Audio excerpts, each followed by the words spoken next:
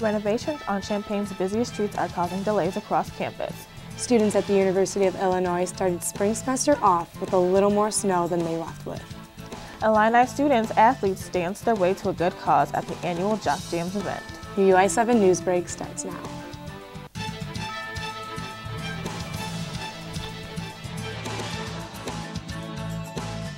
From the Richmond Journalism Teaching Studio at the University of Illinois campus, this is your UI7 News Break, your U of I news source.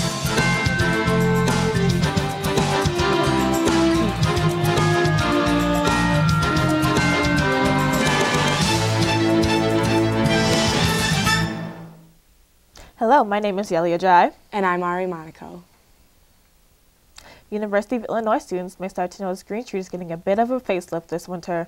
Students may need to find a new route to class this semester. Many students and faculty walk across Champaign's Green Street every day. With two high-rises set to open in 2015, construction sites are developing throughout Champaign's busiest streets. The intersection at 6th and Green will feature a new hotel above a parking structure, while a luxury high-rise apartment is currently under construction on 4th and Green.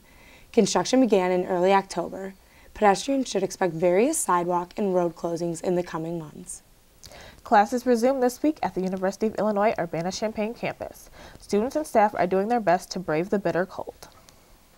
Students at the University of Illinois received a very cold welcome this week as classes began for the spring semester. A storm Sunday night left icy sidewalks and frigid temperatures across central Illinois. To avoid the ice, students and staff rely on the Champaign-Urbana transit system to help alleviate some of the cold. The students returned to campus January 20th after a month-long vacation. The University of Illinois Library System is now home to a unique collection of Indian comic books.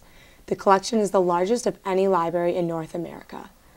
South Asian Studies librarian Mara Thacker has been collecting comic books from across India since 2012. She said the collection started after attending a workshop hosted by the Committee on South Asian Libraries.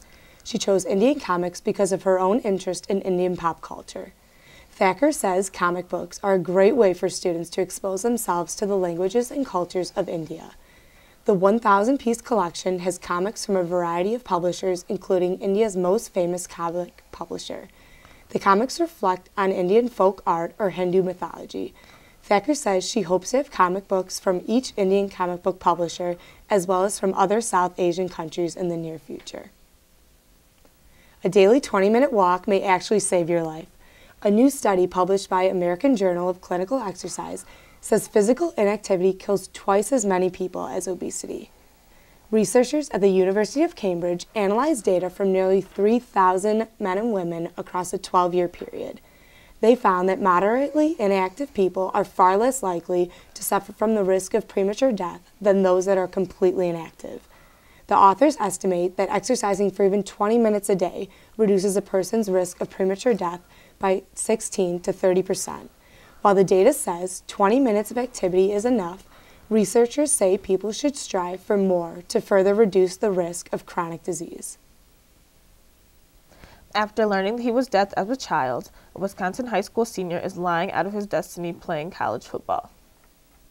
Senior Tony Libet says he didn't find out he was deaf until he was three years old, but despite only having to, to, to percent of his hearing, Libet defied his odds and signed with Gallaudet University in Washington, D.C. to play football.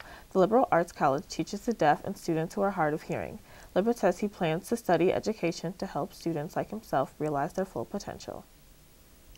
University of Illinois student athletes brought the house down at their annual talent show at Foellinger Auditorium this week.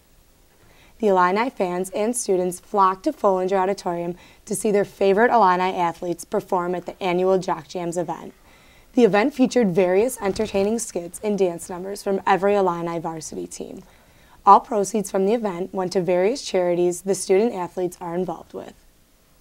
So the first one is Camp Kesem, and um, Camp Kesem is a nonprofit organization that provides a free week-long summer camp to kids who have or have had a parent with cancer.